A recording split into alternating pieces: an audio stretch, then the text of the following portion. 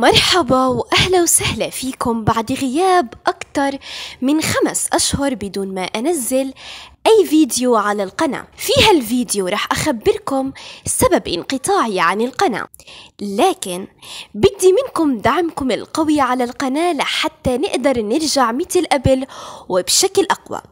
إذا مو مشتركين بهالقناة اشتركوا وفعلوا جرس التنبيهات لحتى يوصلكم كل جديد. وهلقيت خلوني أخبركم شو اللي صار معنا تحديدا أنا وفريق هالقناة. أكيد أغلبكم سمع عن الأحداث السيئة اللي حصلت بقطاع غزة في فلسطين. أنا من غزة.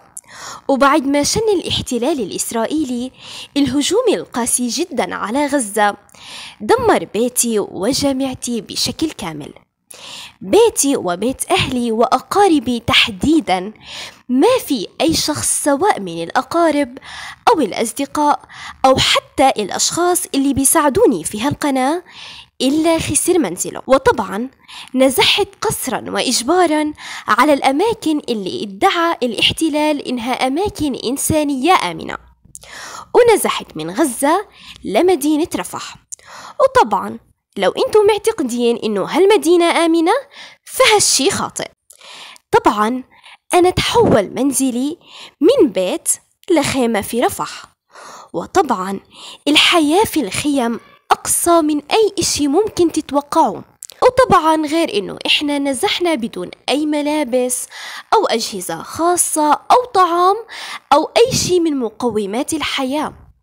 وطبعا استقبلنا شهر رمضان المبارك بالخيم بدون مي أو إضاءة أو أي شي من الأكل الصحي اللي ممكن يقوي صحتنا لحتى نقدر نصوم.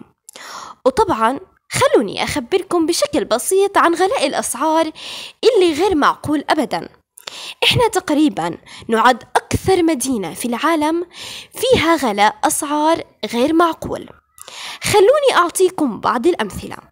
مثلا كيلو السكر ب 25 دولار وكيلو التمر ب 15 دولار والخضروات مثل المندورة والخيار وغيره كتير لا يقل عن 10 دولار. وطبعا إحنا نعتبر أرحم من أهلنا اللي ضلهم في غزة اللي بيعانوا من مجاعات متعددة يوميا. أطفالنا بيقتلوا من سوء التغذية في غزة. ما عندهم أي نوع من المية النظيفة أو الطحين اللي بيخليهم أقل شيء على قيد الحياة. وطبعا فقدنا أشخاص وأقارب كتير استشهدوا في هالظروف السيئة. ما نحكي الكلام ما رح يكون كافي لحتى يعبر عن المعاناة الصعبة جدا اللي بنعيشها.